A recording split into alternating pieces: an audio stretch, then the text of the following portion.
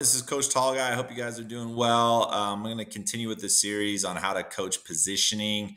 Uh, we talked in my last video about using a cone line to help kids visually see which side of the field they're on. Today, I'm going to give you something you can do in your practices called shadow play. Shadow play is great for trying to teach positional play to kids.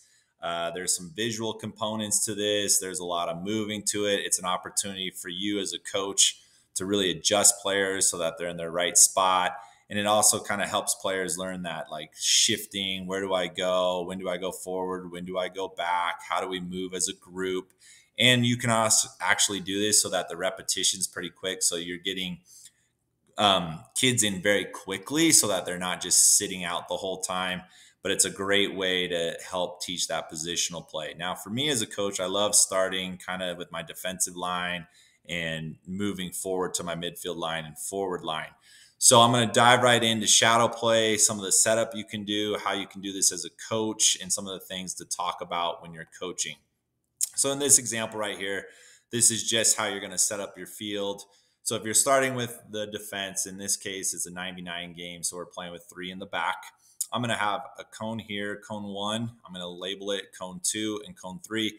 You're going to notice his dash line is again that cone line to help the kids see the field split in half. So it's a pretty simple setup. So if you have those disc cones, you can just set the ball on top of them.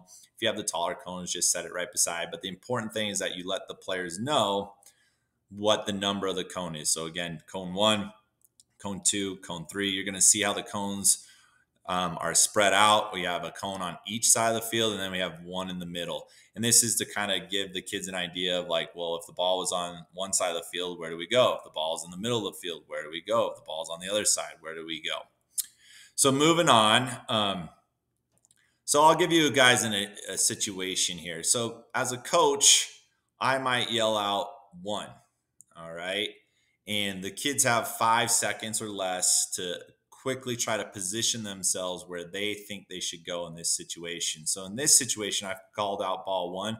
This is pretty good, right? We have a player on the ball, which is great. We have our center back starting to move towards the ball, but not right on top of the teammate. Okay. They're giving that cover. And then we have our outside back shifting across to the middle cone line to give us that balance. So there's that nice little shift. And then from there, once they've shifted and I say freeze, I look, see how they're set up positionally, and then I'm going to make some coaching corrections. If everything's great, we just move on. If everything's not great, I kind of physically move the kids where they need to be, talk a little bit about distances, things of that nature. A lot of times you'll see this player, particularly in recreational soccer, will come across the cone line, and then this player will be too close, and we get that bunchy kind of feel. And that's something that you want to address as a coach. So the correct setup in that situation, right?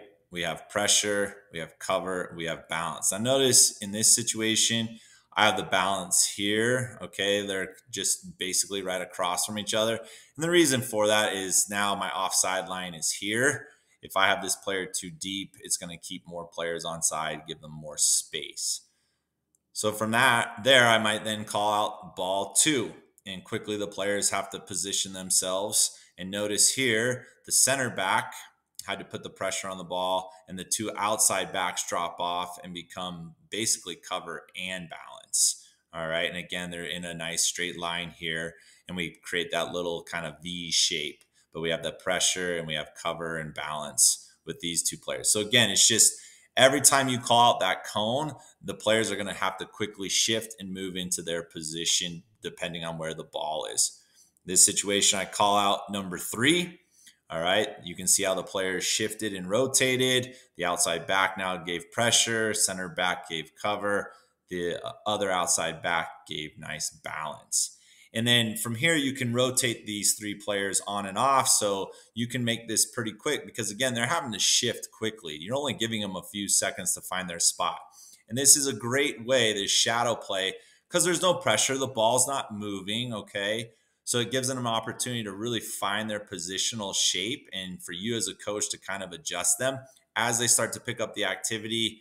You can call out the cones quicker. You can even say something like cone one. And as they're shifting to cone one, you might then yell out cone two, and then they got to quickly shift again. which mirrors uh, in a game, for instance, like maybe the opposing team is passing the ball back and forth, or maybe somebody's dribbling into a different space. So you, as they pick up the activity, you can call out those numbers much quicker, and then they have to shift. All right, now let's say you've done the back. Now you can add another line. Okay, so in this situation, we've added the midfield line. We have our back line. We've moved the cones closer to midfield and we just do the same thing, except now we're adding more players. So if I was to say in this situation, ball three, my outside midfielder is going to pressure the ball. My center midfielder is giving that cover.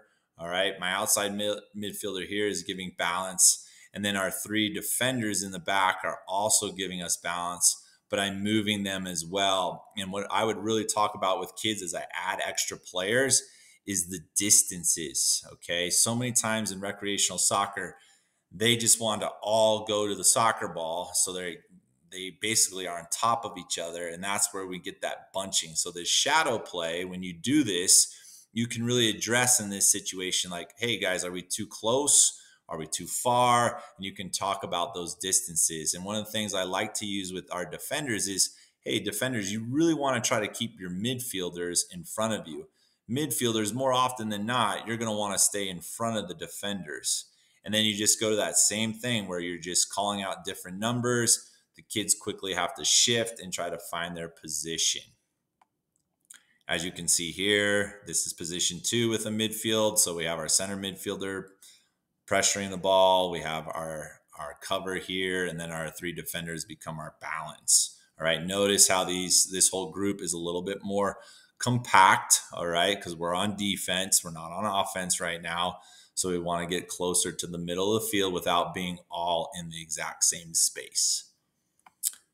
In this situation, the ball is just shifted over to cone one. So our outside midfielder pressured, center midfielder gives cover, outside midfielders and defenders give that nice balance. Notice though how from here, right, in the above picture, these players have shifted now towards the middle of the field when the ball is out wide, we're not overly concerned with this space anymore because in order for a kid to switch the ball, it's going to give our whole team time to shift and respond.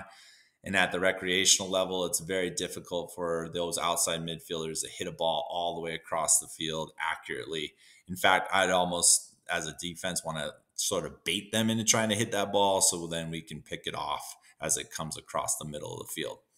And then if you want to add to it, you would just move these cones all the way back, put them in the attacking third, and then we can add our forward line into it and shift up.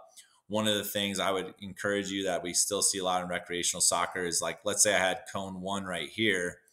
Everybody should be pushing down the field. That means getting our defenders up to midfield. I know that's a tough concept, but again, that's something that should happen. So, to sum it up, this shadow play is very helpful for kids. It can be rapid. You can add more kids as you go down the field. Um, having them understand the different halves of the field, where the ball is, that's really going to help you uh, dictate how you're going to position them. And then it's your job as a coach to go in there and make those corrections uh, for those players as they're out of position.